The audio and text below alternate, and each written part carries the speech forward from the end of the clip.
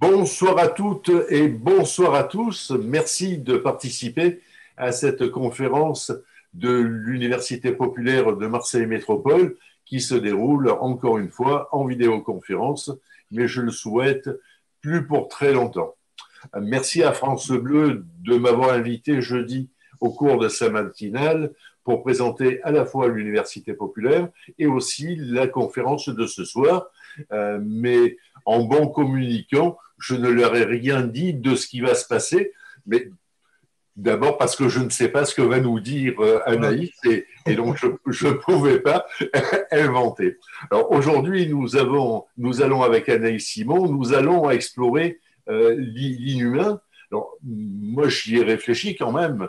Euh, est-ce que c'est l'inhumain ben, Est-ce que c'est ce que nous vivons, que nous subissons individuellement et collectivement depuis plusieurs jours, depuis plusieurs semaines, euh, depuis euh, plusieurs mois.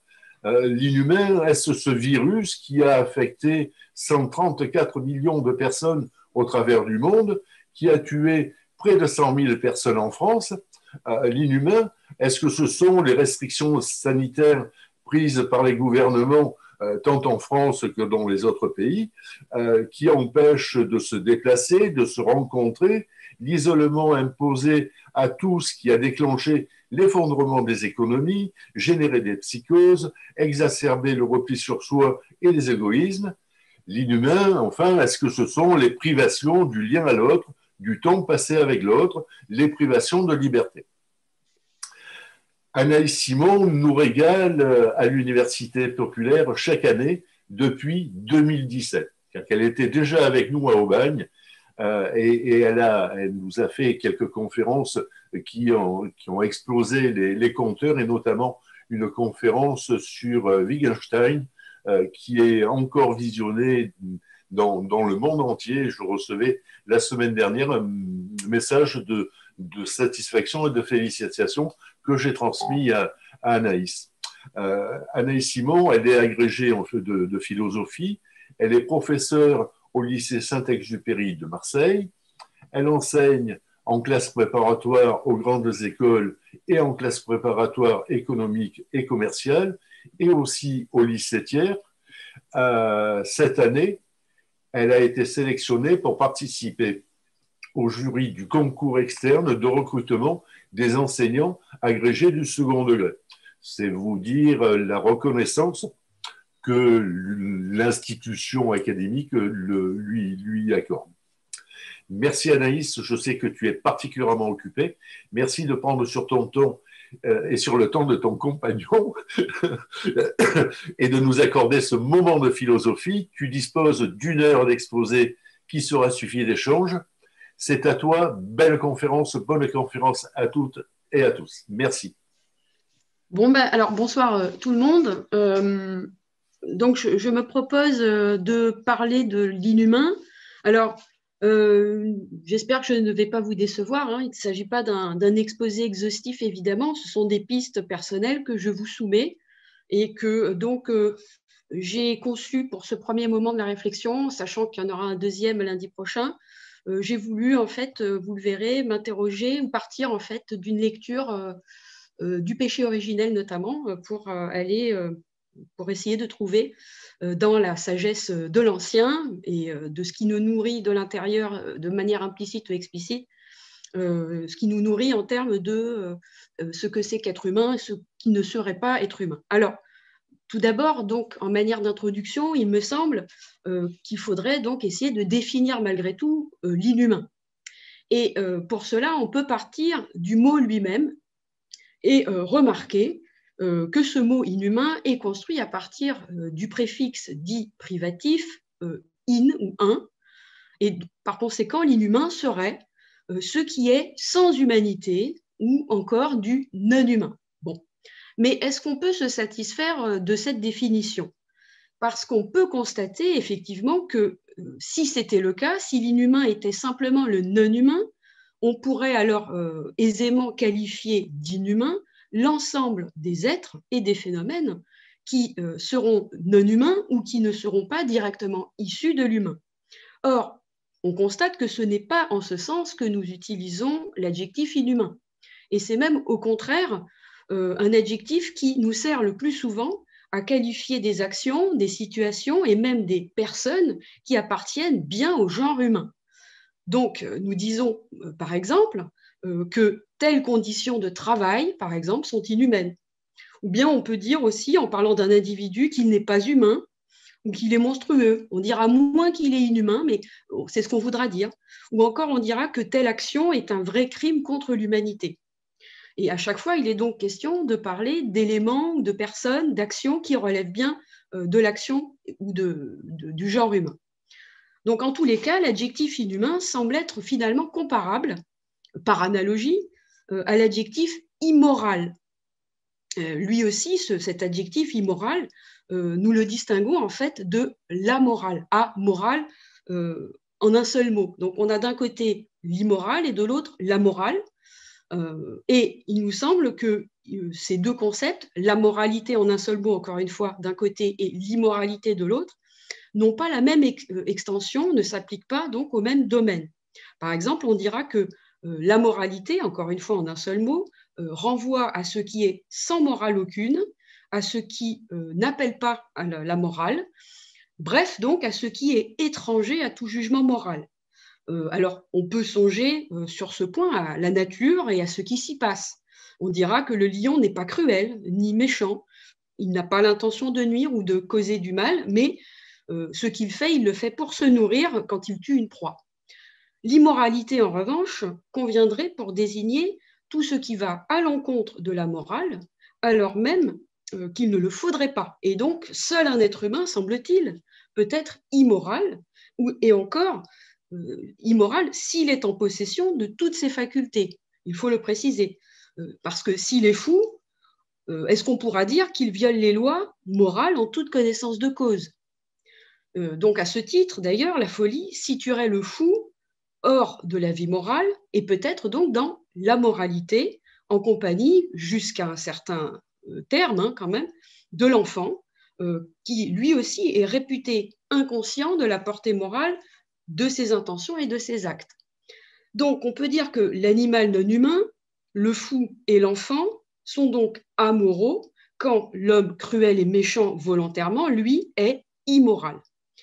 Alors, n'en est-il pas euh, de même de l'inhumain Il faudrait donc finalement pouvoir opposer l'inhumain à l'inhumain, un néologisme qui permettrait d'indiquer que l'inhumain n'est pas paradoxalement sans humanité, mais euh, traduit plutôt un manque d'humanité. On peut donc euh, reprocher à quelqu'un d'être inhumain, mais on ne pourra pas le faire concernant la nature ou l'animal. Et donc, par exemple, Jean-Pierre, on ne pourra pas dire que le coronavirus est euh, inhumain de ce point de vue-là. Donc l'inhumain serait en fait une privation plutôt qu'une simple négation car une privation s'entend d'un être à qui il manque une propriété ou un attribut essentiel et ou spécifique. C'est ainsi qu'on peut traiter de la cécité comme d'une pathologie, voire une anomalie, dans la mesure où on estime qu'un être humain en bonne santé doit posséder la vue. Il est normal de voir plutôt que de ne pas voir pour un être humain. Mais on n'en dira pas autant d'une pierre qui, si elle ne voit pas, n'est pas privé pour autant de la vision, parce que la pierre, ou la vision plutôt, ne lui manque pas. Hein. On dira seulement que la pierre n'a pas la vision. Il ne s'agira donc que d'une négation, pas d'une privation. Or, l'inhumain, tel qu'on utilise ce terme couramment, ressortit bien à la privation d'humanité plutôt qu'à la négation. D'où la question, comment un être humain pourrait-il être privé d'humanité alors même qu'il est humain et comment la pierre pourrait-elle être privée de minéralité alors même qu'elle est une pierre? Il faut donc, du coup, s'interroger à présent sur la signification précise de la nature de cette humanité dont on dit qu'est privé l'être humain, qui est dit inhumain. Or, on a remarqué que l'adjectif inhumain était moins attribué à un individu, on préférera dire en effet d'un individu qu'il n'est pas humain, ce qui pose de toute façon problème, qu'à une situation ou un acte. On dira, par exemple, traiter les employés de cette façon, c'est vraiment inhumain, ils travaillent dans des conditions inhumaines. On semble supposer là que des êtres humains se trouvent alors engagés dans des situations qui les empêchent d'agir et peut-être même de vivre à la manière d'êtres humains. Alors, c'est peut-être, Jean-Pierre, euh, ce qui donc rend possible en revanche de parler de situations inhumaines dans le cas, euh, par exemple, de la privation des libertés imposée par la crise sanitaire. C'est à, discuter. Mais en tous les cas, ça, je pense que attribuer euh, l'adjectif inhumain à ce type de situation aurait davantage de sens à ce moment-là. Alors, si on en revient donc à notre exemple concernant des conditions inhumaines de travail, on pourrait dire que euh, s'il est question par exemple de cadence de travail inhumaine, cela peut vouloir signifier qu'on impose à des hommes des cadences calquées sur le rythme des machines. C'est-à-dire pas de pause pour déjeuner ni pour discuter, pas de temps pour souffler, etc. Or, c'est tout ce qui doit pourtant ponctuer la journée d'un être vivant, qui plus est humain. On nierait ainsi, du verbe nier, hein, euh, le mode d'être humain des travailleurs, devenus pour de bon de simples employés, c'est-à-dire des outils, dont l'essence propre est d'avoir une fonction. Employer quelqu'un, n'est-ce pas en effet le réduire à l'état de moyen plutôt que le viser comme une fin en soi? On peut même d'ailleurs poursuivre les remarques linguistiques plus avant, et dans le verbe employer, euh, repérer le, verbe ployer tout court qui veut dire courber sous le poids. Et ployer les chines est bien une des images de la soumission. Bref, soumettre des êtres humains à des conditions inhumaines de travail reviendrait à les soumettre à des actions contraintes qui, durant le temps de leur exécution, les priveraient de leur humanité des conditions inhumaines de travail sont des conditions qui contribuent ainsi à déshumaniser les travailleurs, ce que Marx appelle dans le Capital l'aliénation de l'ouvrier. Alors, l'aliénation est en effet un concept utile pour mieux cerner le sens de l'inhumain. Et d'ailleurs, dans la petite présentation de ces deux exposés que je me propose de faire sur l'inhumain, je cite le vers de Terence Rien de ce qui est humain ne m'est étranger. En latin, Terence écrit alienus pour étranger. Et c'est de ce mot, de cet adjectif alienus, que nous vient le terme français aliénation. Alors, l'aliénation serait ainsi le processus dont l'effet est de rendre l'individu comme ou tout à fait étranger à lui-même. Alors, c'est là une drôle d'expression, étranger à soi-même. Expression qu'il nous faut interroger il peut en effet nous arriver de dire que nous ne nous reconnaissons pas quand, par exemple, sous le coup d'une grande émotion ou dans une situation tout à fait inhabituelle, nous disons ou faisons des choses qu'on peine à s'attribuer après coup. On dira euh, j'ai vu rouge, j'ai perdu mes moyens, je n'étais pas moi-même, etc. Comme s'il était donc possible donc de ne pas ou plus être soi. À l'inverse, et c'est là que ça peut devenir, il me semble intéressant pour notre exposé, à l'inverse, il y a des situations dans lesquelles nous prenons d'un seul coup conscience de façon très aiguë de qui nous sommes. Et c'est par exemple le cas avec la honte. Alors, Sartre en parle très bien dans L'être et le néant, et il dit à peu près ceci. Donc, supposons, donc c'est mon résumé, hein, ce n'est pas euh, le texte même de Sartre, hein, mais euh, je, comment dire, je me permets de résumer sa pensée. Donc. Supposons que je sois tranquillement en train de faire quelque chose qu'on peut considérer comme vulgaire. Imaginons simplement que je sois en train de satisfaire un besoin. Alors je fais alors ce que j'ai à faire en toute tranquillité, c'est-à-dire sans réfléchir à ce que je suis en train de faire, sans m'en soucier dans tous les sens du terme. Bref, je fais les choses tranquillement et pour moi. Supposons alors que je lève la tête et que j'aperçoive alors quelqu'un qui me regarde. Deux choses sont possibles. Je peux ne rien ressentir parce que la présence de l'autre m'est égale, elle n'a pas plus de sens ou de valeur que la présence de l'arbre sous lequel je me suis abrité, ou bien je peux aussi être transi d'un seul coup de honte et ce sentiment, d'ailleurs, est très reconnaissable cliniquement. Rougissement, transpiration, etc. Sartre s'interroge sur ce que traduit précisément cet étrange euh, sentiment qu'est la honte. Et on peut dire qu'en effet, c'est un, étrange sentiment ou un sentiment étrange, parce que c'est un sentiment qui me perturbe dans ce que je pensais être, comme si je faisais donc l'épreuve de l'étrangeté en moi. En effet, si j'ai honte, c'est bien que je reconnais que le jugement que j'attribue à autrui sur moi est juste ou fondé. Je me dis qu'autrui doit me trouver sale et vulgaire, et comme j'ai honte et que je me sens mal, c'est que j'admets volontiers qu'il a raison de penser cela de moi. Si en revanche, je trouvais que le jugement d'autrui n'était pas juste à mon égard, ce n'est pas de la honte que je ressentirais, mais plutôt de l'agacement, voire de la colère indignée. Je pourrais me dire, non mais de quel droit me regarde-t-il ainsi, par exemple? La honte que je ressens est donc la preuve que, je cite Sartre, je reconnais que je suis comme autrui me voit. Mais alors nous avons un problème qui apparaît. Car quand autrui n'était pas encore entré dans mon champ de vision et que je vaquais tranquillement à mes occupations, j'étais, il me semble, bien moi-même, tout en faisant la chose qui me cause à présent de la honte, maintenant que je me vois vu et jugé par autrui. Est-ce à dire qu'on est soi-même seulement en présence d'autrui, sous son regard, comme si celui-ci, ce regard, nous contraignait à dire qui nous sommes et peut-être à choisir qui nous voulons être? Sans autrui, en effet, je me contente d'être moi et de faire les choses pour moi.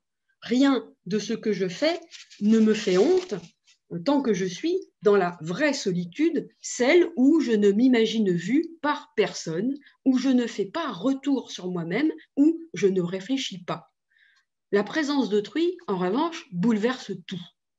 D'un seul coup, son regard me contraint à me regarder moi-même et à faire retour sur moi, à réfléchir donc dans tous les sens du terme, c'est-à-dire penser et me penser, comme si donc le regard d'autrui était le miroir à travers lequel je prenais conscience de qui je suis en y découvrant mon reflet. J'ai honte donc, mais pas de mon geste. C'est plus profond et total comme sentiment. J'ai honte de moi. Je m'embarrasse moi-même. Alors donc, je ne le savais pas, je n'y pensais pas, mais je suis quelqu'un de vulgaire, de sale en fait. Avant, je n'étais ni propre ni sale, j'étais juste, je faisais seulement. À présent, je peux être propre ou sale, et ce que je fais fait de moi quelqu'un de propre ou de sale. Si on reprend ainsi nos expressions ordinaires comme je n'étais pas moi-même ou j'étais hors de moi, autant d'expressions qui signifient la perte momentanée de soi, et qu'on leur applique l'analyse alors à ce moment-là sartrienne de la honte. On peut dire que, paradoxalement, on n'est soi-même que sous le regard d'autrui. Je suis un être pour autrui, comme le dit Sartre. Celui qui s'avoue qu'il n'était pas, celui qui avoue, pardon, qu'il n'était pas lui-même peut tout à fait le dire sincèrement. S'il décrit par là, par exemple, un moment de grande ivresse euh, où il a perdu tout souvenir. Mais il peut s'agir également d'une façon de ne pas dire qu'il a honte. Je ne peux pas m'attribuer ce qui ferait de moi un salaud parce que j'ai honte d'être un salaud. Je préfère dire que je n'étais pas moi-même. On voit donc qu'on peut légitimement hésiter ici. Qui est qui finalement? Quand est-on soi-même Dans la solitude où on ne suit que ses désirs ou bien en présence d'autrui? Et la réponse est moins difficile qu'on ne pense en réalité. Car pourrait-on se demander qui on est dans la solitude réelle? Y a-t-il un sens à se demander qui on est quand on n'a à se comparer à personne, quand on est le seul centre de son existence je suis moi, peut-on dire à la limite. Mais comme chacun pourra en dire autant, on ne sera pas plus avancé. Pour pouvoir en dire plus, je suis quelqu'un, par exemple, de ceci ou de cela, il faut le regard d'autrui. Tout seul, absolument tout seul, je ne sais pas qui je suis. Et même, diront certains, je ne sais pas que je suis. Tout seul, donc, je ne suis pas tout à fait humain. Peut-être, c'est une hypothèse. Je suis comme le lion qui fait ce qu'il a à faire. La solitude, l'absence d'intersubjectivité, pour dire le mot, est le lieu de l'anhumain. Et donc l'humain, ça commence toujours à deux. Adam et Ève, par exemple. Adam et Ève, donc. Étrangement, en effet, nous lisons ceci. Je vais projeter le texte. Alors, je lance le diaporama euh, à partir du début. Effectivement, donc étrangement, nous lisons dans la Genèse, alors il s'agit de la traduction proposée par André Chouraki, qui est plus près encore du texte d'origine. Nous lisons que... Il faut que tu actives le partage d'écran, Anaïs. Ah oui, je ne l'ai pas fait, pardon. Autant pour moi. Alors, je reviens à mon début. Alors, non. Alors, où est-ce que je fais ça? C'est là Non. Euh, j'ai du mal, hein. j'avoue que... Alors, voilà, j'ai perdu ma... J'ai perdu mon truc. Est-ce qu'on m'entend ou pas, là? Oui, oui, oui. Alors, pourquoi je ne retrouve plus... Euh... On t'entend. C'est embêtant. On parce que... et on te voit. Il faut que tu ouvres ton diaporama et, ouais, et que tu fasses ensuite partager l'écran. Ouais, mais j'arrive plus à retrouver la page où je peux ouvrir le diaporama. Ça a disparu. Je comprends pas pourquoi. Ah, dis donc, ce soir. Hein. À moins que je lise les choses, mais c'est quand même dommage parce que le texte, il est. Bon, alors comment faire? Comment je fais? Est-ce que c'est en rapport avec ça? Si j'appuie sur échappe, il se passe un truc? Non Voilà, voilà. Alors là, j'ai honte, là, du coup, euh, pour de bon. C'est quoi le problème, du coup, euh, Naïs? Ben, J'arrive pas à um, partager l'écran parce que je n'ai plus la page euh, de la conférence Zoom. Ah, d'accord. Alors, fais, tu, tu, es sur un PC Oui. Fais, euh, appuie sur Alt, la touche Alt, et, Alt. et, appuyer, et en même temps, tu fais tabulation. Alt et tabulation. Alors, tabu... Alors Alt et tabulation, c'est laquelle de touche? C'est la touche au-dessus de Shift à gauche, au-dessus de majuscule à gauche. C'est la touche ah, oui. qui permet de faire voilà, une tabulation. Et donc, tu restes appuyé sur Alt et sur tabulation. Tu vas parcourir toutes les applications de ton ordinateur qui sont. Et voilà. Et tu devrais bon, mettre sur le logo de Zoom. Ah, d'accord. Et sur le logo de Zoom. Voilà. Alors, logo de Zoom. Une caméra bleue. Ouais, mais non, là, c'est pas toi. C'est toi que j'ai zoomé. Euh c'est que j'ai plein de choses ouvertes sur mon bureau parce que je travaille plein de choses en même temps. Et non, je ne vois pas de. Alors, une autre solution, Anaïs, tu retournes mmh. dans le mail de Jean-Pierre, tu recliques sur son lien. D'accord, bah, je vais essayer ça tout de suite. Je devrais te remettre au premier plan la fenêtre. Voilà, j'ai re refait. Alors, ouvrir le lien. Voilà. Alors, du coup, écran partagé. Euh, c'est là. Je partage. Parfait, ça fonctionne. Ah, désolé, hein. je pars du début. Hum. On ne peut pas tout mettre. ah, voilà. Voilà, voilà. Alors, donc, j'en suis là. Ouais. Alors, donc, je reprends. L'idée, donc, comme je disais, c'est que finalement, l'humain, ça commence toujours à deux, d'où euh, la lecture de, euh, zut, de la Genèse et la fameuse création d'Adam et Ève. Et donc, nous lisons, en fait, au début, euh, dans la version d'André Fouraki, que Elohim dit Nous ferons Adam le glébeux à notre réplique, selon notre ressemblance. Ils assujettiront le poisson de la mer, le volatile des ciels, la bête, toute la terre, tout reptile qui rampe sur la terre. Alors tout de suite la question, mais qui est ce il au pluriel? Car Adam est pour l'instant sans Ève. Et on ne voit pas comment Elohim pourrait Elohim, Dieu, pourrait parler de lui et d'Adam à la troisième personne du pluriel. Donc il faut supposer que le pronom au pluriel il renvoie déjà aux humains, comme si l'homme Adam était dans sa solitude de créature humaine déjà au moins deux. D'ailleurs, la, Genèse précise après ceci. Elohim crée le glébeux à sa réplique, à la réplique d'Elohim, il le crée, mâle et femelle, il les crée. Alors, le glébeux, donc l'humain, est mâle et femelle, et pourtant, nous semble-t-il, nous qui connaissons la suite, Adam est encore sans Ève. Hein, il est encore seul. De fait, euh, celle-ci, Ève, la femme dite Isha, hein, dans la version de Chouraki, n'est créée par Dieu que bien après, après que Dieu a placé Adam dans le jardin d'Éden et qu'il lui a donné une règle simple à suivre que tout le monde connaît, et je la rappelle. Donc, euh, il y avait Adonai, Elohim, ordonne au glébeux pour dire de tout arbre du jardin, tu mangeras, tu mangeras, mais de l'arbre de la connaissance du bien et du mal, tu ne mangeras pas. Oui, du jour où tu en mangeras, tu mourras, tu mourras. Donc, c'est ça. C'est donc ensuite que Dieu, en fait, crée Ève. Et voici, comment il le fait. Donc, il avait donné Elohim fait tomber une torpeur sur le glébeux, il sommeille, il prend une de ses côtes et ferme la chair dessous. Il y avait Adonai Elohim bâti la côte, qu'il avait prise du glébeux, en femme. Il l'a fait venir vers le glébeux. Le glébeux dit Celle-ci, cette fois, c'est l'os de mes os, la chair de ma chair. À celle-ci, il sera crié femme Isha. Oui, de l'homme Ish, celle-ci est prise. Sur quoi l'homme abandonne son père et sa mère, il colle à sa femme et ils sont une seule chair. Les deux sont nus, le glébeux. Les deux sont nus, le glébeux et sa femme. Ils n'en blémissent pas. Donc, si on voulait insuffler un peu de rationalité dans ce texte cosmogonique, on pourrait proposer l'hypothèse suivante. Le glébeux du début, le tout premier, ce n'est pas un être humain tout seul, mais déjà le genre humain, père, mère et enfant, en l'occurrence fils. La création d'Ève est plutôt l'invention du couple monogame et hétérosexuel. Ceci étant dit, on peut remarquer que le glébeux et sa femme sont nus euh, l'un devant l'autre et n'ont pas honte de cela. Et pour cause, ils ne se voient pas nus, ou plutôt déshabillés, ils sont ce qu'ils sont, ils ne le jugent pas, ils ne se jugent pas.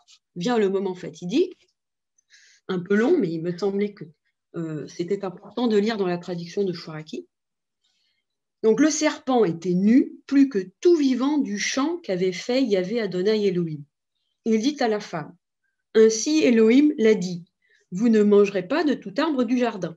La femme dit au serpent, Nous mangerons les fruits des arbres du jardin, mais du fruit de l'arbre au milieu du jardin, Elohim a dit, Vous n'en mangerez pas, vous n'y toucherez pas, afin de ne pas mourir. Le serpent dit à la femme, Non, vous ne mourrez pas, vous ne mourrez pas, car Elohim sait que du jour où vous en mangerez, vos yeux se dessilleront et vous serez comme Elohim, connaissant le bien et le mal. La femme voit que l'arbre est bien à manger. Oui, appétissant pour les yeux, convoitable, l'arbre pour rendre perspicace. Elle prend fruit et mange. Elle en donne aussi à son homme avec elle et il mange. Les yeux des deux se décilent, ils savent qu'ils sont nus. Ils cousent des feuilles de figuier et se font des ceintures. Donc, ils savent qu'ils sont nus, et ils ont honte à ce moment-là. Donc cette insistance sur la nudité, on, l'a vu quand même, celle d'abord du premier homme et de la première femme, tout comme celle du serpent, qui est, lit-on, euh, tout au début, nu plus que tout vivant que Dieu a créé. Et c'est étonnant, on se demande ce que c'est qu'être plus nu que nu. Hein. Donc cette insistance sur la nudité donc interroge. Adam et Ève ont soudain honte d'être nus, non seulement l'un devant l'autre, mais aussi et peut-être plus fondamentalement, d'être des êtres humains déshabillés pour le coup. Cela ne se fait pas, cela ne se doit pas. La nudité n'est-elle pas en effet le propre de l'animalité? L'humain, lui, depuis le mythe de Prométhée, est cette créature qui doit s'habiller, non seulement pour survivre, mais surtout et avant tout parce qu'il est un être moral et social, un être de la règle et de la loi. Après tout, dans le jardin d'Éden, il ne faisait pas froid puisque manifestement, Adam et Ève auraient pu continuer d'y séjourner tout nus sans se poser de questions. C'est donc que le moment décisif intervient dès lors qu'ils se posent justement des questions, quand leurs yeux se dessillent et qu'ils savent qu'ils sont nus, qu'ils savent que c'est mal que d'être nus pour un être humain. Désormais, ils ne pourront plus être nus, mais seulement déshabillés. Pourquoi? Parce que la nudité est du côté de l'anhumain, de l'animalité. La nudité, ce serait le fait d'être seulement pour soi, dans l'innocence et l'ignorance morale, dans la moralité en un seul mot. L'humanité voit donc le jour quand les yeux dessillés, Adam et Ève éprouvent pour la première fois de la honte et que la notion même de faute devient concevable. C'est d'abord la honte d'être nu avant celle d'avoir péché. Le texte de la Genèse, en effet, le met clairement en scène. Il y avait Adonai Elohim, crie au glébeux. Il lui dit Où es-tu? Il dit J'ai entendu ta voix dans le jardin et j'ai frémi. Oui, moi-même je suis nu et je me suis caché. Il dit Qui t'a rapporté que tu es nu? L'arbre dont je t'avais ordonné de ne pas manger, en as-tu mangé? Le glébeux dit La femme qu'avec moi tu as donnée m'a donné de l'arbre, elle, et j'ai mangé. Donc, on peut se demander s'il est même certain qu'Adam et Ève aient honte d'avoir désobéi à Dieu. Car on n'en lit nulle mention, en fait, dans la suite du texte. Quand Dieu appelle Adam et que celui-ci se cache, il ne le fait pas parce qu'il craint le châtiment divin. Mais si on lit bien le texte, que ressent-il Que se passe-t-il? Il ressent d'abord quelque chose. Il frémit, dit-il. Serait-ce, par exemple, le chatouillement de la honte Et c'est ce qui le conduit à rapprocher ce frémissement d'un fait, ou plutôt d'un jugement ou retour sur lui-même, à savoir, il est nu, je suis nu. C'est alors qu'il se cache, afin, suppose-t-on, du coup, de cacher sa nudité au regard de Dieu. La honte, donc, exige bien sûr la spécularité ou le regard. Or, on va le voir dans un autre passage qui suit directement en fait la chute euh, d'Adam et Ève hors du jardin d'Éden, euh, donc l'épisode d'Abel et Cain.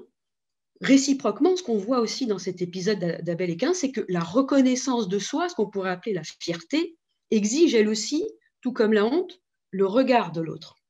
Et c'est en effet ce qui conduit Cain au fratricide juste après le péché originel. Alors, Ava, Ève, hein, c'est Ève pour nous, Hava euh, dans la traduction de Choraki, euh, la femme d'Adam sur terre lui donne deux fils. Donc Cain, l'aîné, et Ébel ou Abel, le, euh, second. Et Cain travaille la terre quand Abel et Bel élèvent du bétail. Et voici ce qui se passe. Et c'est au terme des jours qu'Ain fait venir des fruits de la glèbe en offrande à Yahvé Adonai. Ébel a fait venir lui aussi des aînés de ses ovins et leur graisse. Donc l'un offre euh, les fruits de la glèbe, donc euh, des céréales, des, fruits. Et on suppose que Ebel, euh, c'est pas qu'on suppose, c'est indiqué, lui donne les aînés de ses ovins, de ses brebis, avec la graisse. Yahvé Adonai considère Ebel et son offrande. Cain et son offrande, il ne les considère pas. Cela brûle beaucoup Cain, ses faces tombent. Donc, que se passe-t-il? Dieu, en fait, ne regarde pas Cain, ne regarde pas ses offrandes et leur préfère, en fait, celles de son frère. Et donc, pris de jalousie, Cain tue son frère. Il n'a pas su faire, d'ailleurs, ce que Dieu lui avait enjoint juste, après de faire. En effet, euh, il y avait Adonai dit à Cain, Pourquoi cela te brûle-t-il? Pourquoi tes faces sont-elles tombées? N'est-ce pas que tu t'améliores à porter ou que tu ne t'améliores pas à l'ouverture? La faute est tapis. À toi, sa passion, toi, gouverne-la. Donc, qu'est-ce que ça veut dire? La faute est tapis, comme le serpent, en fait, dans le jardin d'Éden. Il aurait donc fallu que Cain domine la bête en lui, qu'il se gouverne, mais il ne l'a pas fait. Et du coup, Dieu l'interroge, puisque nous, nous le savons, il a tué euh, son frère. Voici comment Yahvé interroge donc Cain. Où est ton frère Ébel Il dit Je ne sais pas, suis-je le gardien de mon frère moi-même? Ici, nous avons finalement le premier mensonge de l'histoire de l'humanité du point de vue de la Bible, et c'est un mensonge adressé à Dieu lui-même. Et il est en plus proféré avec insolence, puisque Cain dit Suis-je le gardien de mon frère? Une manière de dire euh, C'est pas mes oignons, euh, c'est pas les tiennes non plus. C'est pas les tiens non plus. Donc, euh, bien sûr, Dieu le condamne à l'errance et au labeur ingrat. Oui, tu serviras la glèbe. Elle n'ajoutera pas à te donner sa force. Tu seras sur la terre mouvant, errant. C'est alors finalement que Cain, semble-t-il, hein, prend conscience de sa faute et a honte. En ces termes, Cain dit à euh, Yahvé euh, Adonai, Mon tort est trop grand pour être porté. Voilà, aujourd'hui tu m'as expulsé sur les faces de la glèbe, je me voilerai face à toi, je serai mouvant, errant sur la terre, et c'est qui me trouvera, me tuera. Donc là encore, finalement, la culpabilité se manifeste par le regard. Je me voilerai face à toi, autrement dit, je tâcherai d'échapper à ton regard en me cachant, tout comme Adam se cache parce qu'il ne veut être vu nu par Dieu. Donc la nudité ici prend la forme de la faute tapis hein, dans, le, dans l'épisode euh, de Cain et euh, Abel. Cette faute tapis qui apparaît comme la métaphore de la bête qui attend sa proie, et pourquoi pas donc du serpent qui, qui est le plus nu euh, de tous les vivants, d'après ce qu'on en a lu. Alors, à la lecture donc de la genèse de l'humain dans l'Ancien Testament, on peut ainsi mettre en évidence des traits caractéristiques de l'humain et de l'inhumain. On peut déjà remarquer que l'humain naît de la spécularité partagée, finalement euh, du regard croisé, pourrait-on dire. Il faut se savoir vu par un autre qui sait lui-même qu'il me voit. Car c'est là la condition de possibilité de l'affect éthique originel, c'est-à-dire le sentiment de la honte, sans lequel on ne voit pas comment on peut, orienter son existence d'après les valeurs du bien et du mal. Surtout, la honte est bien le sentiment qui peut me décentrer de moi-même pour me faire adopter le point de vue de l'autre, pour me voir comme lui me voit. À partir de l'expérience de la honte, il m'est possible de connaître la pitié, la compassion. En tous les cas, on peut le supposer. Et voici pourquoi on peut le supposer. La honte suppose que je reconnais et valorise le jugement d'autrui à mon égard. En d'autres termes, je le reconnais au moins comme mon égal, si ce n'est comme meilleur que moi. Supposons que je n'ai jamais honte devant autrui, que je sois même indifférent à son regard et à son jugement. Qu'est-ce que cette apathie, cette indifférence traduira-t-elle de la façon dont je considère autrui?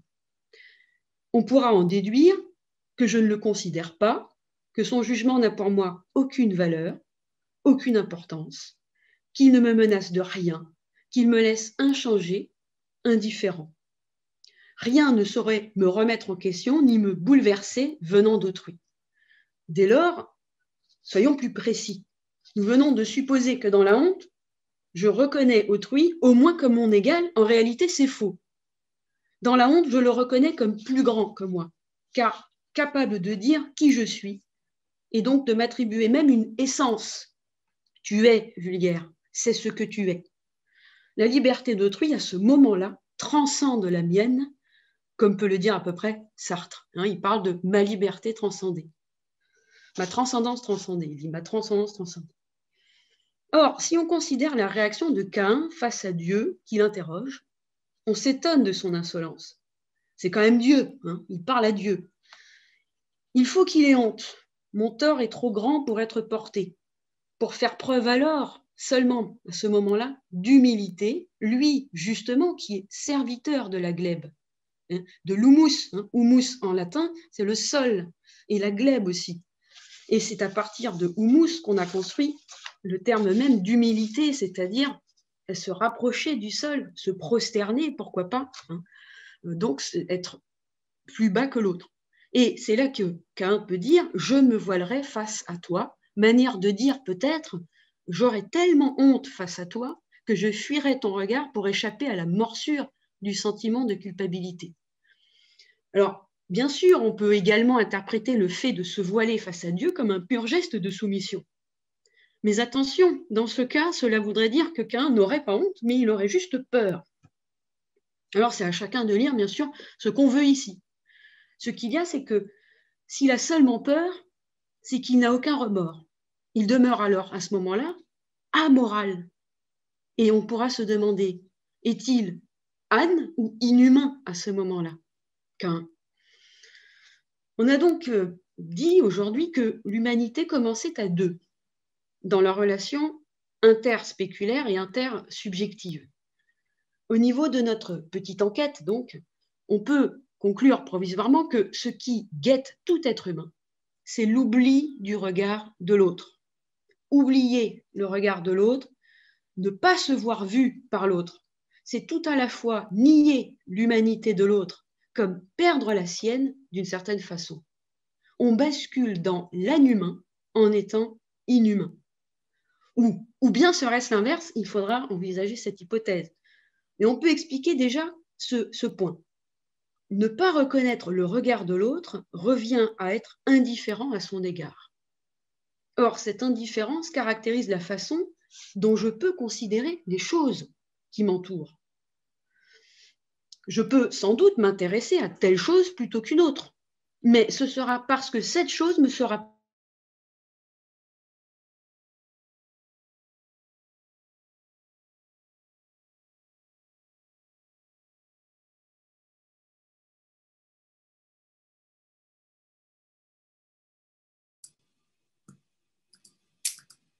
Anaïs.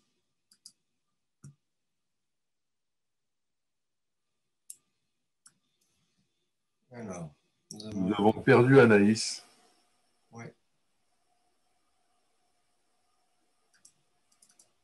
Elle n'est plus dans les participants. Si elle est là.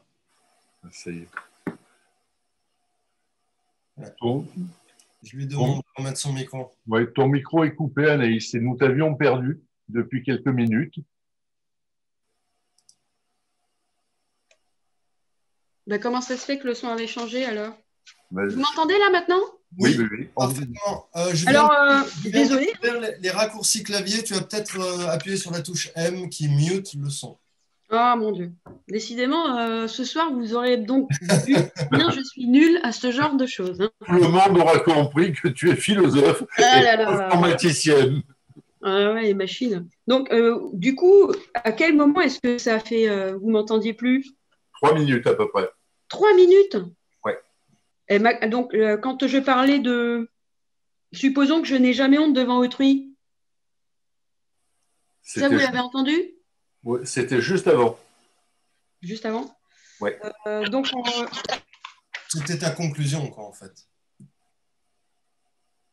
Mhm. Donc, vous m'avez entendu concernant euh, ce que j'ai pu dire euh, sur euh, Abel et Cain. Tout à Oui. fait. Et ensuite, donc, euh, ce que je peux tirer comme conclusion de l'Ancien Testament, où on peut mettre en évidence des traits caractéristiques de l'humain et de l'inhumain, ça, vous l'avez entendu ou pas? Non? Oui, Oui? oui, non. Donc, Oui. la spécularité partagée, euh, OK. Ça, Oui. oui. Donc, je disais, j'ai proposé aussi cette euh, hypothèse selon laquelle c'est à partir de l'expérience de la honte qu'il est possible de connaître la pitié et la compassion. Vous l'avez vu ça? Vous l'avez entendu? Oui. Oui.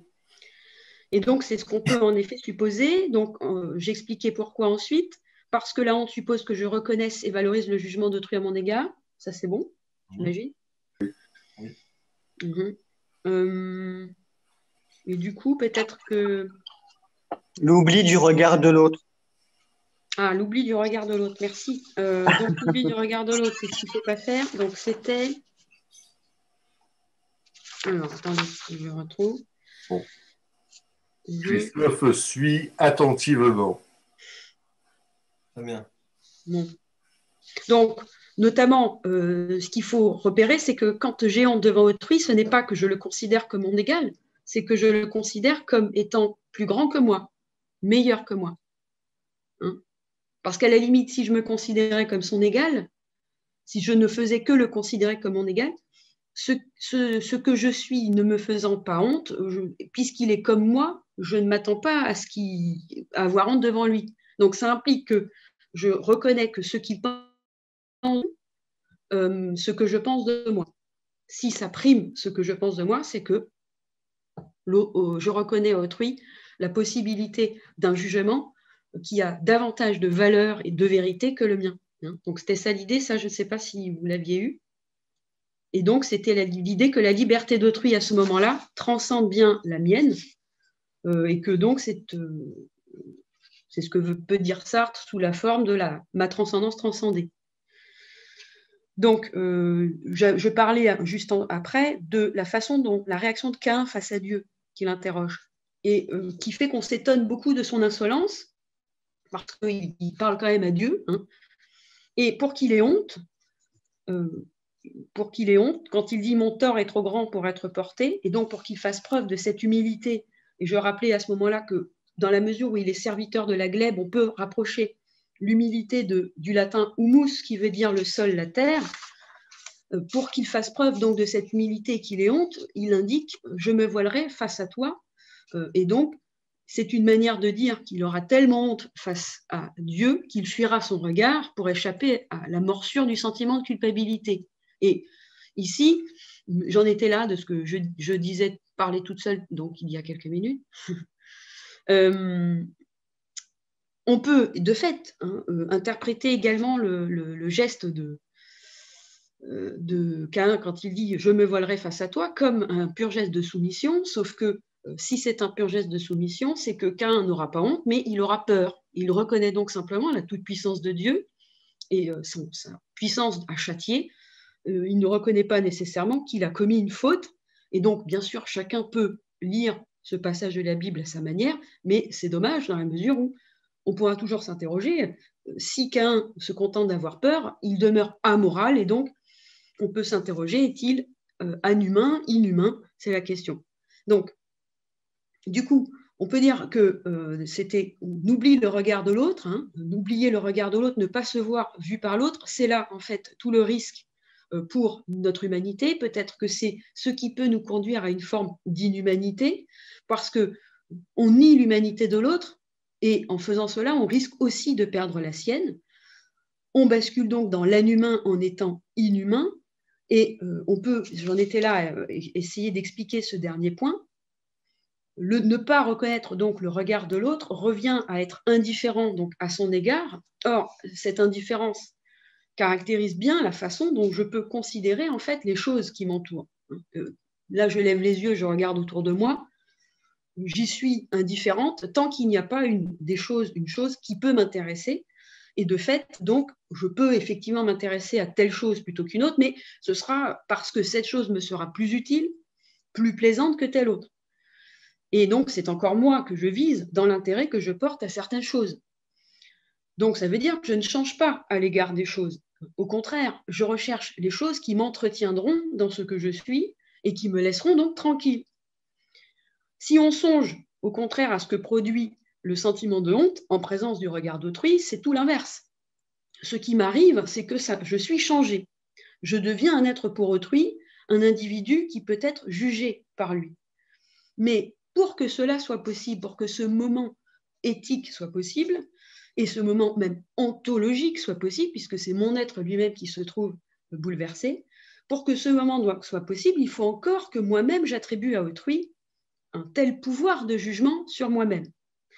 Et euh, que, je juge, au contraire, euh, autrui, euh, si je juge autrui comme n'étant rien pour moi, son point de vue, son opinion sur moi-même, n'aura aucun impact.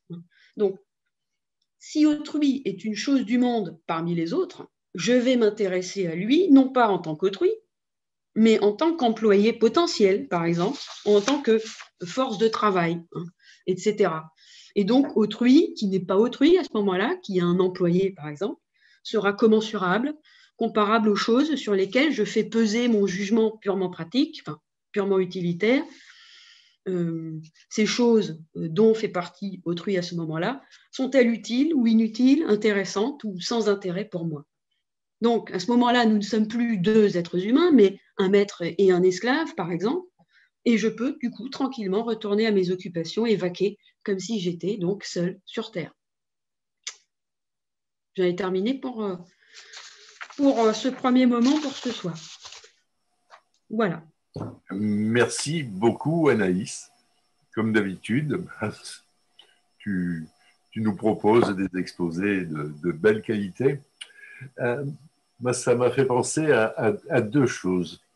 Euh, j'ai vu le reportage qui concerne un jeune athlète euh, qui, est, qui est aveugle et qui se prépare pour participer aux Jeux olympiques euh, dans la discipline du biathlon. Et donc, dans cette discipline, il a besoin de euh, skier et aussi de faire des pauses pour tirer au fusil. Ce sont des fusils particuliers qui sont des, des fusils sonores. Mm-hmm. Et comme il ne voit pas, il a dû exacerber son ouïe euh, pour euh, comprendre, pour détecter à quel moment euh, le, le, le, fusil vise le centre de la, de, de, de la cible. Et donc, c'est la transformation euh, de l'animalité ou de l'inhumanité. Je ne sais pas comment tu le diras. Euh, et puis un deuxième exemple, c'est euh, Emmanuel, euh, oui, Valls euh, qui dit mais je ne savais pas qu'en trompant, qu'en étant un traître euh, envers les personnes, mes collègues politiques avec à qui j'avais donné ma parole, je ne savais pas qu'en étant un traître, je serais considéré comme un traître. Et j'ai trouvé ça absolument extraordinaire et tout à fait à propos avec ce que tu dis, euh, parce qu'il a eu besoin lui aussi d'être découvert, reconnu, euh, identifié comme, euh, comme un traître, quelqu'un qui n'a pas rempli ses engagements, mais il ne le savait pas tant qu'on ne le lui avait pas dit. Mmh. Mmh. Alors, dans, dans, le premier cas que tu as évoqué sur euh, ce, ce, cet athlète qui non-voyant qui fait du biathlon, euh, on ne peut pas dire qu'il soit ni inhumain ni inhumain en réalité. Euh, quand j'évoquais la question de la cécité, c'était pour dire que on fait la différence en réalité entre la privation d'un côté et la négation de l'autre. Okay. La simple négation, c'est le constat euh, qu'il n'y a pas telle ou telle chose. La privation, c'est lorsqu'on se dit il n'y a pas telle ou telle chose alors qu'il faudrait qu'elle soit. Et donc, on peut supposer euh, que la, cécité ou le fait de ne pas voir ou de très mal voir euh, est de l'ordre d'une forme de pathologie si on considère que la norme humaine implique euh, le fait de voir et de bien voir pour considérer justement qu'on est un être humain en pleine santé. Mais ça n'implique pas que notre humanité ne repose que sur la vision, évidemment. C'est juste que c'est pour montrer qu'il y a des normes, des, une forme d'axiomatique, d'axiologie, d'axiomatique, pour établir la différence entre euh, ce qui, est et ce qui doit être, donc la, la, différence entre la privation et la négation, puisque pour le coup, on ne reprochera jamais à une pierre de ne pas voir, puisqu'il ne lui manque pas du tout la vision, dans la mesure où ça ne fait pas partie de ses attributs essentiels de toute façon. Mais euh, voilà, bon. Euh, pour ce qui est de la deuxième chose que tu as évoquée, c'est clairement de la langue de bois euh, politique sur ce coup-là. Euh, c'est une manière, de la mauvaise foi au sens sartrien du terme. C'est presque une manière de dire, une manière de ne pas vouloir dire, oui, je sais hein, que j'ai fait quelque chose de répréhensible, je le savais très bien en le faisant, mais tant que j'étais pas pris la main dans le sac, bon, voilà. Hein. Donc je pense que c'est plutôt ça. Moi, dans l'idée que j'avais, c'est que la, la, solitude en question, c'est une solitude réelle. C'est l'être humain euh, c'est ce qui peut nous arriver au quotidien malgré tout quand on est tout seul dans, dans sa salle de bain. Hein. Mais où, par exemple, on pense à toute autre chose qu'au qu fait d'être vu par quelqu'un. Il faut être paranoïaque pour imaginer qu'il y a des caméras euh, planquées dans sa salle de bain ou que Dieu est en train de nous regarder, euh, nous faire euh, la toilette. c est, c est, ça commence à devenir un peu, pour le coup, la pathologique, mais euh, au niveau psychologique. Donc il y a des moments où on ne réfléchit pas à ce qu'on fait. Euh, si on, passait notre existence à ne pas réfléchir à ce qu'on fait, euh, on serait à ce moment-là dans une existence qu'on peut dire inhumaine. Euh, et c'est la présence d'autrui qui me ramène à mon humanité. C'est pas, pas pour rien d'ailleurs que le même Sartre fait dire à, à un des personnages de, de huis clos, l'enfer c'est les autres. Au sens où il y a plein de moments où je préférerais ne pas avoir à me poser toutes sortes de questions morales compliquées qui, qui, qui, qui m'interroge dans ce que je suis. Est-ce que, je, est-ce que je fais quelque chose de bien? Est-ce que, c'est une bonne idée de faire cela Etc. Toutes ces questions euh, qui sont pénibles, en fait, qui m'empêchent d'être tranquille. Et celui qui me ramène toujours pourtant à cette euh, urgence et exigence de devoir dire qui je suis, bah, c'est l'autre. C'est l'autre. Mais à condition que cet autre, je le, je le reconnaisse dans sa dignité. Hein. Si je suis le maître dans une, par exemple, une, une exploitation euh, euh, esclavagiste, hein, j'ai une exploitation avec plein d'esclaves sur mon exploitation, mais je, m'en fiche totalement de ces autres-là. Ce ne sont pas d'ailleurs des autres comme des alter ego, ce sont de purs étrangers à, à ma race humaine. Ce ne sont pas des humains. Donc, de la même façon, je peux ne pas avoir honte du tout de, de faire ce que j'ai à faire si je dois soulager un besoin, si euh, un chien passe et me regarde. C'est ça. Donc, c'est ça qui va être difficile justement de construire dans la lundi prochain.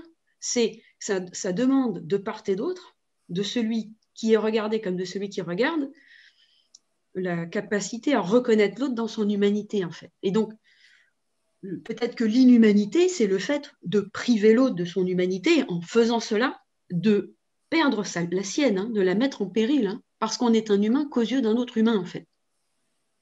C'est pour ça que on passe notre existence à vouloir être reconnu par l'autre. C'est ce qui arrive à Cain. Mais pourquoi Dieu ne m'a-t-il pas considéré? Pourquoi Dieu ne m'a-t-il pas regardé? Et il est prêt à faire quoi? À tuer son propre frère euh, par pure euh, vengeance et jalousie. Il n'y a même pas d'autre, il n'y a pas d'explication, parce que c'est pas en tuant son frère qu'il sera nécessairement regardé par Dieu. La preuve, c'est que ce que Dieu fait, c'est qu'il lui honni soit-tu. Et euh, il le chasse encore plus. Bon, mais il y aura certainement d'autres observations, d'autres questions. Qui, qui veut prendre la suite? Christophe?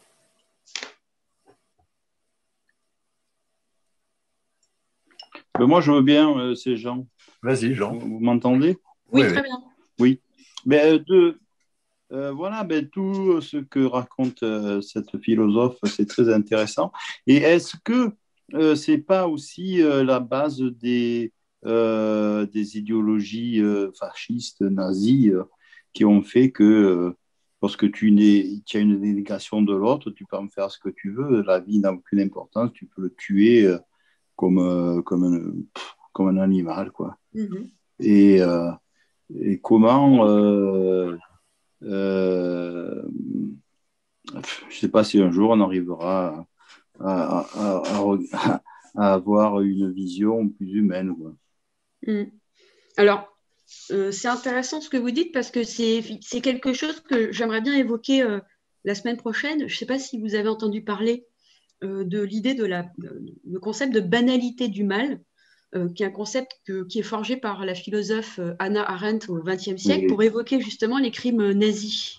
Et là, pour parler en particulier de Adolf Eichmann, elle a assisté au procès, elle a travaillé en tant que journaliste sur la relation jour, jour, par jour, minute par minute du procès, et elle a proposé une, une interprétation, une thèse, une, étude sur euh, ce que c'est que le mal, finalement, faire le mal, quand on est quelqu'un comme Adolf Eichmann qui, qui n'a pas du tout l'envergure pour être un, horrible monstre. Euh, par exemple, Hitler était beaucoup plus monstrueux dans sa façon d'être, euh, etc. Donc, et effectivement, peut-être que ce qui est le propre peut-être d'Eichmann, c'est qu'il n'a même pas de, de la haine pour les juifs, par exemple quand on a de la haine pour, est-ce qu'on n'est pas en train finalement de reconnaître à l'autre un pouvoir sur soi, celui de me faire du mal, celui de me rendre vulnérable? Si je suis vulnérable, c'est que je suis susceptible de blessure. Hein, en latin, vulnus, c'est la blessure. L'autre peut me toucher, peut m'atteindre, il peut m'affecter. Le pire des sentiments à l'égard d'un être humain, c'est-à-dire le sentiment qui nie le mieux son humanité, c'est bien le mépris hein, et l'indifférence. C'est-à-dire ce que j'ai appelé l'apathie. Apathie, c'est qu'il n'y a même pas de, pathos. Le pathos, c'est en grec ce qu'on peut traduire en, latin par passion, passio. Euh, le pathos, c'est euh, une forme de souffrance, c'est une manière d'être affecté par. Or, apathie, c'est le contraire. Je ne suis pas affecté. Ce que peut ressentir l'autre, ni ne me cause de la joie, ça, ça peut être le cas quand je suis ami avec quelqu'un, son, bonheur me cause de la joie, je suis affectée par le, bonheur d'autrui, je suis donc en sympathie avec lui. Euh, le contraire, ce sera l'antipathie. Au contraire, le bonheur de mon ennemi me, cause de la jalousie, de la haine. Et puis, euh, le comble, donc ce qui est contraire aux deux, à savoir à la sympathie et à l'empathie, c'est l'apathie. Il n'y a rien. Il n'y a rien. Et il me semble que ce serait là la banalité du mal aussi. En tout cas, c'est un, il y a, d'autres critères, hein. mais un des points possibles, lorsque je fais ce qu'on m'a dit de faire, sans me demander si c'est bien ou mal, parce que aucun affect, aucune émotion ne me conduit à me poser ce type de questions. C'est ce que j'ai voulu aussi indiquer aujourd'hui. c'est que pour pouvoir se demander si c'est bien ou si c'est mal, il faut d'abord être, il faut d'abord savoir avoir honte. Un ordinateur qui n'a jamais honte de rien, la fameuse intelligence artificielle qui serait incapable de ressentir la honte, mais ça ne pourra pas être un être moral en réalité. Et mm. cette honte, pour pouvoir la ressentir, enfin, cette honte doit déboucher sur quoi? Sur la capacité à la sympathie et voire à l'empathie. C'est-à-dire, vous avez deux moyens pour éduquer un enfant. Il y a le moyen qui consiste à l'éduquer, il y a le moyen qui consiste à le dresser. Et c'est ce qu'on peut voir peut-être euh, déjà à l'œuvre dans l'Ancien Testament. Si on dresse un enfant, c'est qu'on va obtenir de lui ce qu'on veut par la menace et la peur. On le terrorise. On va obtenir de lui ce qu'on veut. Mais il n'aura pas grandi. Or, dans éduquer, il y a l'idée de ex ducere, de sortir de soi, d'aller au-delà de soi, d'être conduit hors de, ex ducere. Donc, si l'éducation, c'est ça, il faut peut-être, euh, pour euh, qu'il accède à un vrai sens moral, euh, on, va susciter en, lui, on va essayer de provoquer en lui le sentiment de la honte, sans que ce soit de l'humiliation, parce que ce serait absolument cruel et pour le coup dégueulasse. Mais s'il n'a jamais honte de rien, cet enfant, si à aucun moment il ne sait ce que c'est, ne ressent le sentiment de culpabilité, comment pourra-t-il se mettre à la place d'un autre? En fait, c'est vraiment la question. Donc, je pense que là, pour le coup, on peut considérer que toute une partie des nazis pouvaient avoir de la haine pour les juifs, et d'une certaine manière, en faisant cela, ils, sauvaient les juifs d'une certaine façon. Ils sauvaient l'humanité des juifs parce qu'ils en avaient peur. On ne peut pas détester ce qui ne nous fait pas peur. Hein. Ce qui, pour moi, n'a aucune importance, je ne sais pas. Hein. Mettons, il y, a, des fourmis qui rentrent chez vous. Vous ne pouvez pas dire je hais les fourmis, j'ai qu'une envie, c'est les détruire, j'y vais au lance-flammes, ce serait aberrant. Ou alors vous avez vraiment, vraiment une vraie grande phobie. Et phobos en grec, c'est euh, la terreur. Hein. Donc, euh, ce qui me pousse à vouloir détruire, c'est la peur. Si je suis indifférent, je, je peux ne rien faire. Aller à ces fourmis, ça m'est égal, je m'en fous. Je m'en fous. Donc, dire je m'en fous en parlant de l'autre, comme ben, l'esclave qui travaille dans, sur ma plantation dans le champ, il peut penser ce qu'il veut de moi, je m'en fiche éperdument. C'est le, je crois que c'est le comble de l'inhumanité, c'est ce qui déshumanise le mieux et le plus, je crois. C'est ne plus exister en tant qu'homme, quoi. C'est disparaître en tant qu'homme c'est donc ne plus être regardé et surtout, c'est pas tellement ne plus être regardé, c'est ne pas se sentir regardé. C'est ça le pire. Je crois que c'est ça. C'est pas tant le fait de ne pas être regardé, c'est le, sentiment ou la certitude que notre regard n'est pas vu. Hmm, c'est terrible. C'est ce qu'on appelle, c'est les fameux invisibles. Hmm. Ils sont invisibles, mais c'est pas qu'on les regarde pas, c'est surtout que qu'ils nous regardent ou qu'ils ne nous regardent pas, on s'en fiche. Je crois que c'est ça le pire, en fait. Votre intervention?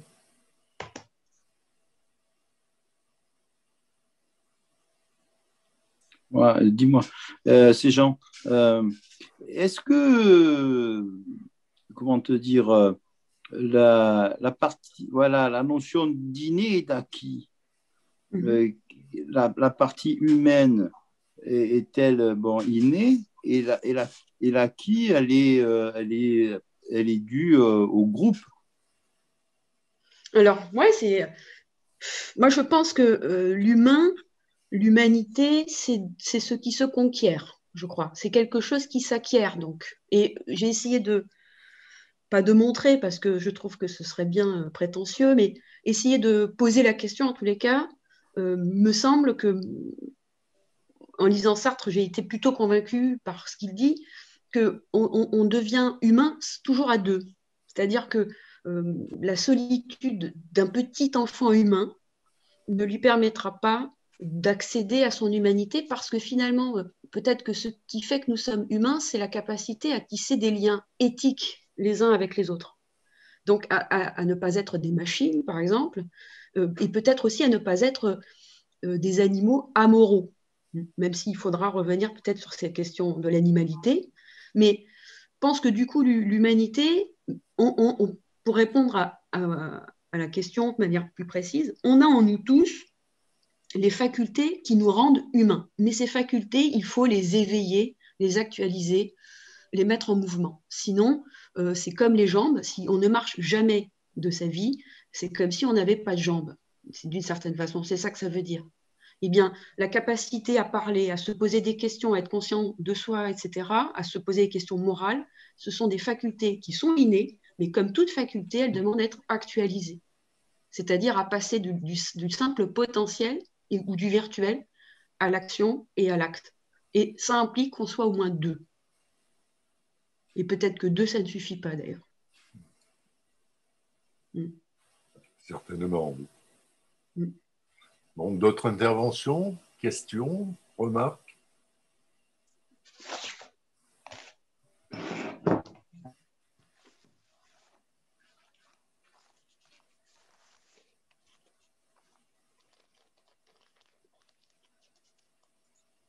Bah, du coup, je peux proposer euh, de, juste d'indiquer ce, que je compte euh, évoquer avec vous, partager avec vous la, semaine prochaine, pour, ceux qui seront là. Euh, j'aimerais bien si j'ai proposé le thème de l'inhumain, c'est parce que cette année, je, travaille sur l'animal et l'animalité. Et j'aimerais bien essayer de voir ce qu'on peut dire de l'animalité aussi en l'homme, parce que souvent, c'est comme ça qu'on qualifie aussi le côté inhumain de l'homme. Quand on dit, par exemple, de quelqu'un qu'il est mort comme un chien, c'est-à-dire qu'il n'est pas mort comme un homme. Et euh, j'aimerais bien voir ce que ça, ce que ça nous dit de l'animal aussi, cette façon de le déconsidérer, et en contrepoint, ce que ça peut nous dire de l'humain, du coup. Ça peut être une piste aussi, une entrée. Donc, je pense que j'évoquerai aussi euh, Anna Arendt pour euh, être plus clair sur la question de la banalité du mal, parce que c'est une thèse très intéressante qui a fait beaucoup elle fait encore vraiment débat encore de nos jours. Hein.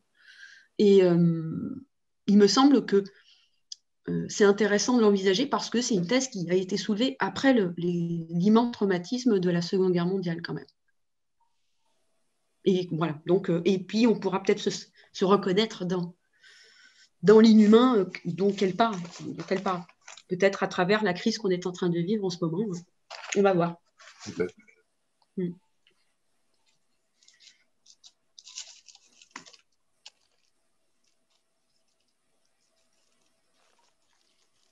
Merci Anaïs, à la semaine prochaine. Ben, ben, de rien, à une prochaine. À la semaine. On euh, tu, nous disais Anaïs qu'il y avait euh, le besoin du regard de l'autre, le besoin du contact de l'autre. Mm-hmm. Et, lorsque dans mon introduction, euh, qui était, ben, tu l'as observé, complètement éloigné de, de, ta proposition, mais c'est juste normal. Euh, je ne suis pas philosophe. Euh, je crois que, que l'on subit euh, individuellement et collectivement une destruction des, destruction des cerveaux, une destruction de nos capacités à, à, à, nous, à, nous, reconnaître. Et, et, je crois qu'on va avoir, mais là ce sont les, les, psychologues qui nous le diront plus précisément, je crois qu'on va avoir beaucoup de difficultés à reconstruire les cerveaux, en tous les cas, à leur permettre de se reconstruire. Euh, parce que ce que j'observe autour de moi, c'est vraiment de la, c'est du niveau de la phobie. Non, non, non, je, je me fais vacciner non pas parce que je crains la maladie, euh, mais parce que je crains de contaminer les autres. Et on entend souvent ça de la part de, de, de parents qui ont des, de jeunes enfants euh, qui sont privés de leur relation avec leur, leur famille mais également de, de personnes, de, de, grands-parents qui disent, mais moi, je me suis fait vacciner euh, pour ne pas, euh, pour ne pas blesser, pour ne pas contaminer ma famille. Donc, c'est ça qui s'est installé dans les, dans, dans les cerveaux. Mm-hmm. Euh, je, je, dois complètement m'immuniser, je dois devenir le plus transparent possible pour ne pas gêner l'autre. Mm-hmm. Mais pour aller plus loin, pour ne pas tuer l'autre. Mm-hmm il faut que je réfléchisse plus avant moi, à ces points-là, parce que je trouve qu'il y a un vrai dilemme moral quand même sur ce, point. Euh, d'un côté, on peut trouver. Je profite de la présence de, de, Christophe, qui est, qui est psychologue, et, ça fait un petit moment que je le, taquine, que je le titille pour qu'il intervienne, parce qu'il a certainement des choses à nous dire. Ah bah oui, j'imagine. Mais, mais, Christophe m'a déjà promis euh, de faire euh, une intervention l'année prochaine. Ah bah oui. Ah oui, c'est clair que là, la, question du souci de l'autre. Alors justement, je m'étais dit, tiens, est-ce que je parle de l'idéal du moi chez Freud, par exemple, pour ces questions-là? Euh, moi, moi, il me semble qu'il y a un dilemme quand même euh, qui, peut générer une immense angoisse euh, chez, les, chez les jeunes enfants, ce qui n'est pas très bon pour eux. C'est que on peut trouver. Il y a un bruit bizarre. il, y a, il y a un micro qui ne sert à rien. Ah voilà. Hmm. On peut trouver. Oui, c'est mieux là. Hein. oui. Oui, ben, c'était celui de Christophe euh, que tu, auquel tu avais ah. demandé de.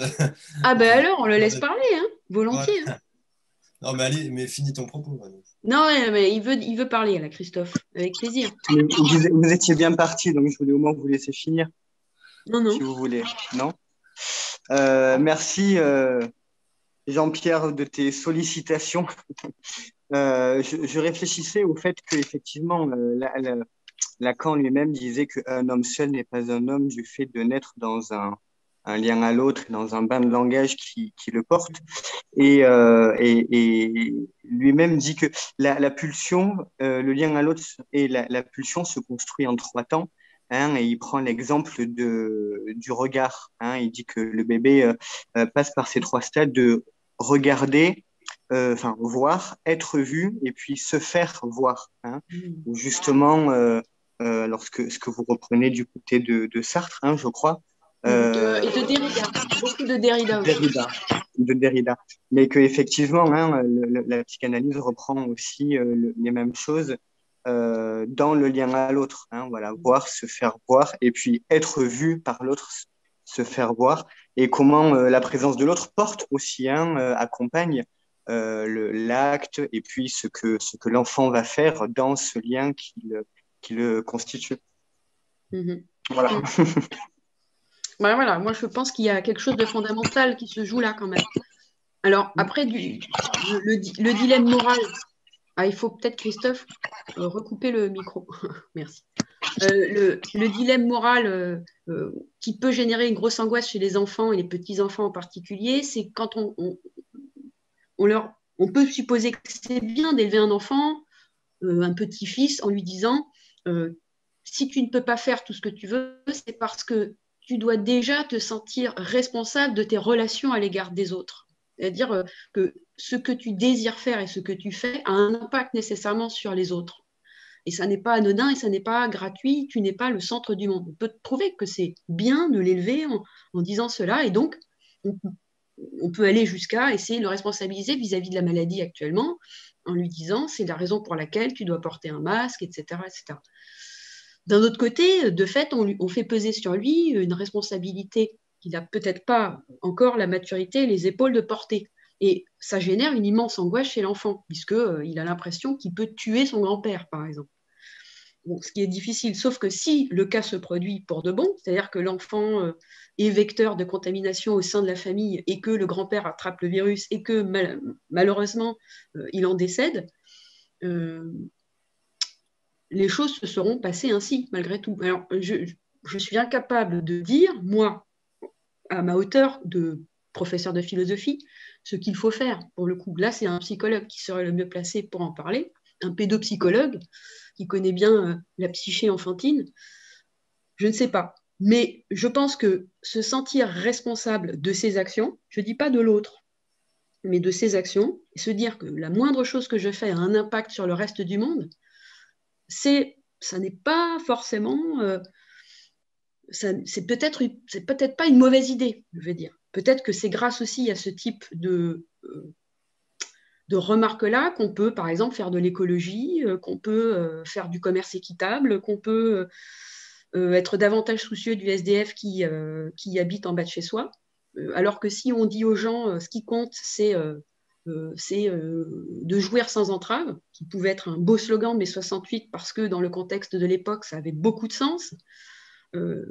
à présent, ça, risquerait en fait de précipiter d'autant plus et encore mieux l'atomisme, enfin, le côté, l'atomisation de nos sociétés dans, dans de l'individualisme où on tourne à du chacun pour soi ou à des petits, des petits groupes, des petites communautés qui en fait fonctionnent par à la fois force centrifuge et force centripète, hein, mais surtout force centrifuge. Quoi. Euh, c'est-à-dire, euh, tout ce qui n'est pas comme moi, je l'exclus. Je ne me soucie pas de savoir si j'ai raison ou si j'ai tort. Ce qui compte, c'est que je puisse continuer à vivre tranquille. Or, peut-être que la rencontre avec l'autre, c'est, hélas, pour nous, vivre le moment de l'intranquillité. C'est ce qu'on peut appeler le souci de l'autre. Aimer, c'est se soucier, par exemple. Et le souci, c'est euh, ben, je ne suis plus tranquille. Il y a quelque chose qui m'empêche de continuer à, être ce que je suis sans me poser de questions. Dès, ce moment-là, je vais devoir me poser des questions. Mais c'est peut-être euh, la condition même de la vie éthique et de la vie morale de l'humain, en fait. Alors, je ne dis pas du tout que les messages d'hygiène sanitaire sont euh, conformes à cette, cette éthique que je viens d'évoquer. je ne sais pas, il faudrait voir, pour le coup, je ne suis pas éthicienne non plus de formation, mais bon, en tous les cas, je me dis que si on ne se pose jamais ce genre de questions, on en revient à la position de celui qui est indifférent au regard de l'autre, en fait. Donc c'est délicat. Hein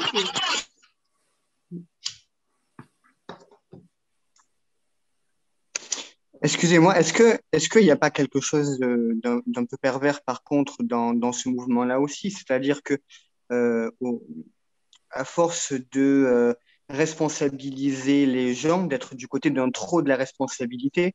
On n'est pas du côté d'une espèce d'autonomisation euh, massive euh, euh, des gens et même des plus petits, hein, que vous, repreniez l'exemple des enfants, qui confine un peu à cette idée très libérale hein, du sujet qui est responsable d'absolument tout, sans aucun déterminisme social ou politique, hein, qui évacue ce genre de questions. Mhm. Peut-être que dans, dans, la dialectique, il faut faire attention à, à être un peu euh, à raison garder entre être du côté de trop de l'un ou, de l'autre, peut-être. Mhm. Oui, oui, je suis tout à fait d'accord. Je suis tout à fait d'accord. Euh, disons que euh, c'est un, vrai, pour le coup, c'est un vrai débat, ça. Et peut-être que c'est ce qui, d'ailleurs, effectivement, vous l'avez évoqué, ce qui permet c'est un des critères qui permet de distinguer entre une position dite de gauche et une position dite de droite.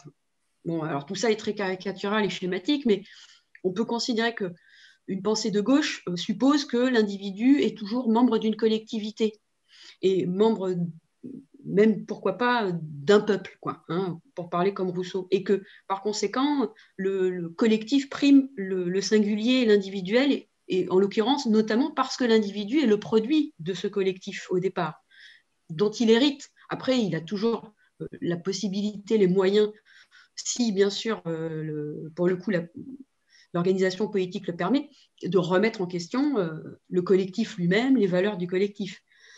Alors qu'à droite, on supposerait en revanche que c'est un petit peu chacun pour soi, au sens où c'est à chacun de se prendre en charge et d'être responsable de lui-même.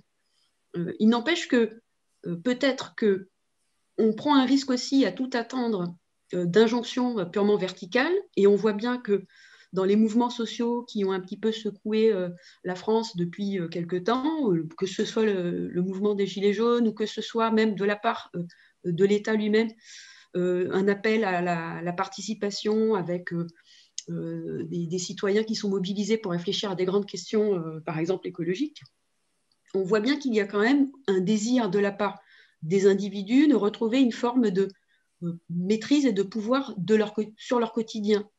C'est-à-dire que euh, tout référer aussi peut-être à une autorité euh, vis-à-vis de laquelle il suffirait de se soumettre et de suivre, c'est aussi une manière de se déresponsabiliser. C'est-à-dire, au fond, on hésite effectivement entre l'hyper-responsabilisation qui risque de conduire à du chacun pour soi d'un côté et à l'inverse, c'est-à-dire euh, le grand guide suprême vous dit ce qu'il faut faire et vous n'avez plus à vous poser de questions. Moi, je pense que pour sortir de cette aporie ou de cette impasse, il faut peut-être s'interroger sur ce que c'est que la responsabilité de façon euh, fondamentale. Est-ce que euh, renvoyer chacun à sa responsabilité, ce n'est pas finalement un contresens dans les termes? Parce que si chacun se sent responsable de l'autre, ça veut dire que ça encourage et ça doit conduire à une réflexion sur la meilleure façon d'organiser les rapports et les relations entre les individus de telle sorte que le bien, un bien commun soit atteint. C'est-à-dire que la, pensée de la responsabilité, c'est peut-être la pensée de la vie publique, de l'espace public, de, donc un espace qui doit être partagé, un espace réellement commun, euh, plutôt que enfermé chez soi. On ne peut pas se sentir responsable quand on vit tout seul chez soi. On est responsable que de soi, et être responsable que de soi, ça n'a peut-être aucun sens, au fond. Euh, donc, euh, euh, je, me demande si c'est, pour le coup, encore une fois, c'est, ce serait un philosophe éthicien qui serait le mieux placé pour, pour proposer des choses cohérentes. C'est juste des pistes et des questions que je pose, moi, de mon côté. On aura au mois de juin un, philosophe qui nous parlera de Mézarchi. Euh, et donc, on, on, va, on avancera aussi dans ces, dans ces questionnements, parce que l'intérêt de l'université populaire, euh, bien sûr, c'est d'apprendre, mais c'est de partir en se posant des questions. Euh, parce que si, si on avait ben, le diplôme immédiatement, ben, il n'y aurait plus besoin d'université populaire. Euh, ce, que vous, ce que vous disiez, Christophe et toi, ben, ça me fait penser à, à, la société d'excellence euh, vers, vers, laquelle on est, euh, on est incité à, à aller, et en même temps, la médiocratie qui s'est installée. C'est-à-dire qu'il n'y a plus d'envie individuelle. Euh, de, d'être différent. Euh, il y a soit l'envie d'accumulation, euh, et ça c'est la, la, société de, de, de, performance, donc tu dois être toujours meilleur. Si tu n'as pas la Rolex, tu es un con. si tu sais pas trouver le, traverser la rue, tu n'auras pas de boulot. Et, et puis, ce que tu disais, cette envie de, de participation collective, individuelle, citoyenne, euh, qui est tellement, euh, tellement loin euh, qu'il y a encore beaucoup de difficultés à, à se l'approprier individuellement et collectivement. Euh, et on en a un très bel exemple à Marseille avec l'élection du printemps marseillais, qui était, euh, qui est à la fois euh, un exploit de, une réussite exemplaire, et en même temps euh, qui devient euh, bah, qui, qui, devient peau de chagrin parce qu'il y avait une telle attente, une telle envie de participation que c'est il y a plein de moments où, ça, où, c'est compliqué parce qu'il y a trop de choses qui sont déjà organisées, qui sont déjà euh, préparées. on ne peut pas imaginer aujourd'hui euh, réfléchir à l'organisation à Marseille des Jeux Olympiques en 2024 c'est déjà trop tard, parce que c'est demain 2024. Donc il a bien fallu préparer tout ça, et on ne peut pas euh, tout remettre en question sous, sous prétexte qu'il y a une équipe différente, une volonté différente marseillaise de gouverner cette ville. Mm-hmm. Mm. Je suis d'accord, bah, c'est un problème d'échelle quand même aussi. C'est ça, c'est ça. Mm. C'est que la performance, c'est bien parce qu'on... Bah, euh, ça permet à ceux qui en ont l'envie de sortir de leur, de, de leur situation euh, d'héritage. Euh, et puis, euh, ça permet aussi bah, à ceux qui n'en ont, enfin, qui n'ont pas envie de d'imiter leurs parents, euh, bah, de pouvoir le faire. Donc, mm-hmm. c'est bah, c'est ce que tu disais, c'est se retrouver, se retrouver soi, se regarder soi, euh, et, et, pouvoir le faire avec tous les autres. Mm-hmm. Je ne vais pas faire un cours de philosophie, j'en suis bien incapable. Non, mais c'est la définition euh, du citoyen, au fond. Hein. C'est ça. C'est ça. Mm. C'est comment devenir citoyen, c'est ce que tu disais. Mm. Euh, on, on, devient homme. Mm. ouais, c'est une, une question je vais me faire engueuler. On devient homme, on devient femme, on devient humain. tu te souviens le débat qu'il y avait eu lorsque tu avais fait ton exposé ah, oui, oui, sur les droits, sur les droits de l'homme. Donc je, donc je, reprends ce que je disais.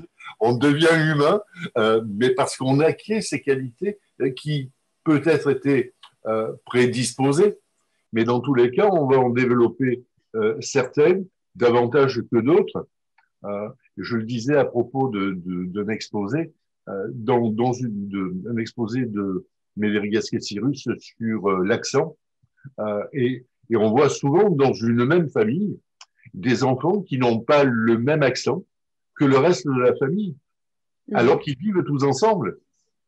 Ils ont les mêmes acquis, enfin les mêmes innés, pardon, et, mais parce qu'ils auront euh, des, des, contacts, des relations euh, ailleurs, ben, ils auront des comportements ou un accent euh, qui mmh. sera différent. Oui, tout à fait. Oui. Mmh. Bon, eh bien, moi je suis content de cette soirée. J'espère que tout le monde applaudit. En tous les cas, j'entends plein de bruit, donc ce doit être ça. Grand merci, Anaïs. Eh bien, de rien. On se, retrouve euh, la semaine prochaine. Ok, à la même heure, et cette fois euh, avec tout qui marche. Mais euh, croisons tous les doigts. à propos d'informatique, je jure de rien. Mais en tous les cas, merci à toutes et à tous qui étaient restés jusqu'au bout. C'est presque. Ah oui, c'est la première fois où il y a autant de monde depuis le début jusqu'à la fin. Mm. Je suis vraiment content. ouais, très intéressant, merci beaucoup. Eh bien, avec plaisir. À bientôt. Bonne soirée, prenez soin de merci. vous. Du coup. Oui, merci, au revoir. Au revoir. Bonne soirée. Au revoir. Au revoir. Ciao. Au revoir, merci. Ciao Jean-Pierre, ciao Boris. Salut Anaïs, bonne fin de semaine. Bye.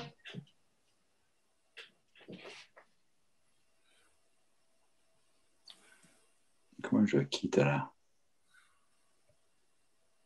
Voilà.